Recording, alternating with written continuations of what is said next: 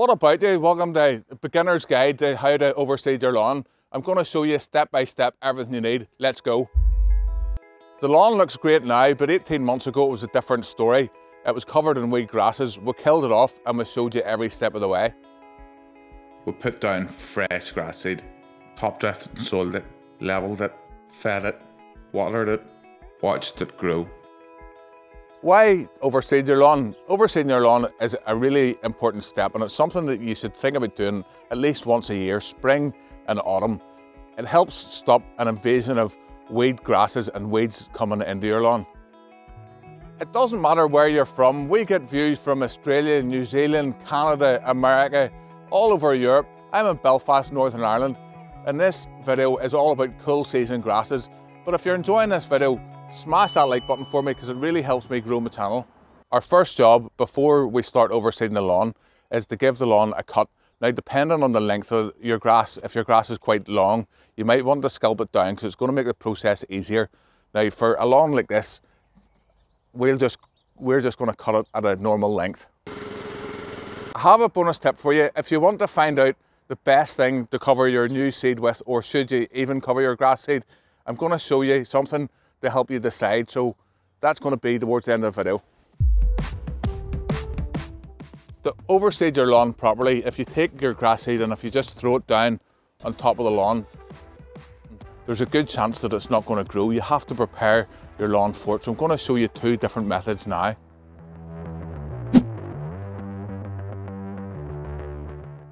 An easy way to overseed your lawn is to aerate it. Now, whenever you aerate your lawn, you're actually creating little plant pots in the soil. Now you don't need any expensive tools to do this. You can use a drill or a garden fork is enough. Now obviously for larger spaces you'll probably want to use a tool. Today we're going to be using an aerator but I'm going to show you how you can do small localized spots. Now the key thing is if you're going to be using these tools you don't want to be going too deep. So you're just creating a small hole in the surface. Let's do that now.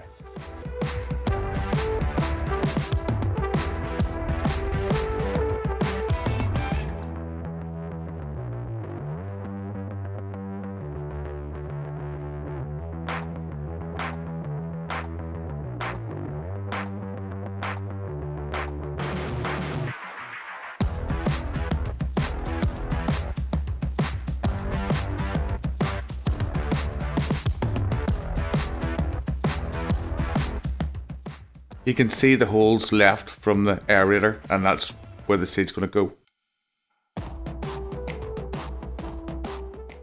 The holes act as little plant pots in the soil. Whenever it starts to grow, it looks like this.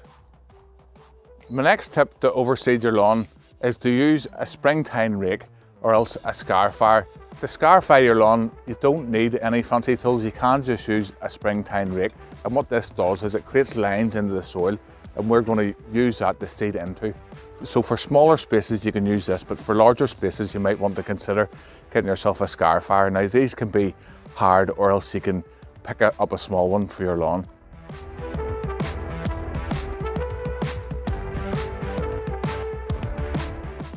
Press the rake firmly into the lawn and use it to break up the soil or dirt.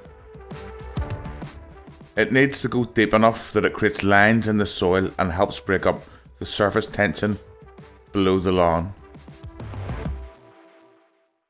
Now let's try with the scarifier.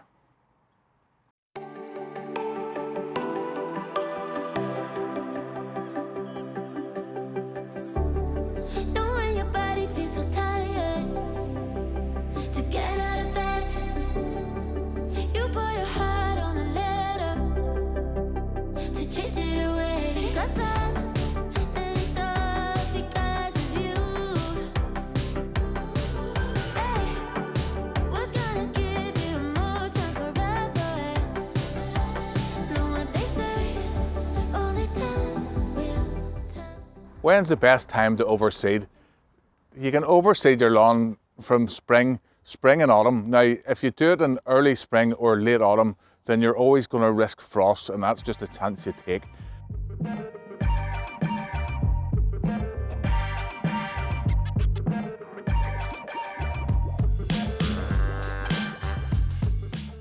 That's the lawn all cleaned up, double scarified, ready for some seed.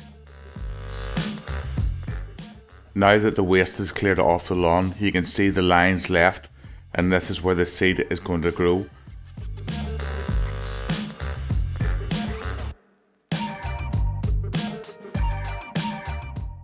So we have the lawn all cleared up. Our next step is now to seed the lawn, so let's do that now. If you want to find out what the best grass seed is for your lawn, I'm going to leave a link in the video description.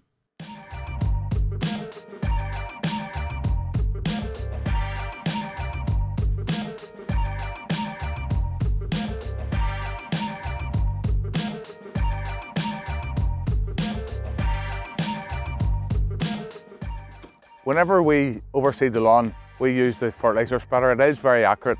However, if you don't have any tools like that, you could just use a builder's line and a bamboo and, and mark your lawn out in sections. Weigh enough to do a certain area, put your seed out, and then move your area onto the next one.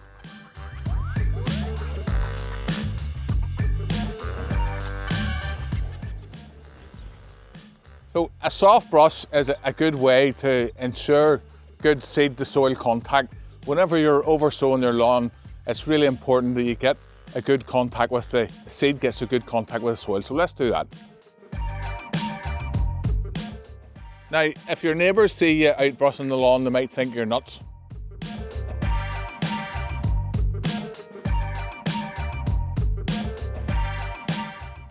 You don't need any tools at all to get good seed to soil contact, you can just use your feet.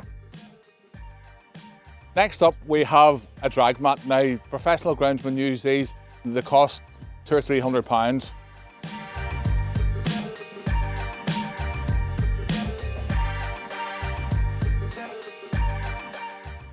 The only thing you need for this is a few cable ties, a brush shaft, a length of rope, and this mat. Now, I'm going to leave a link down in the video description where you can pick one of these up. These work incredibly well and they're a lot cheaper. This comes to less than 40 pounds.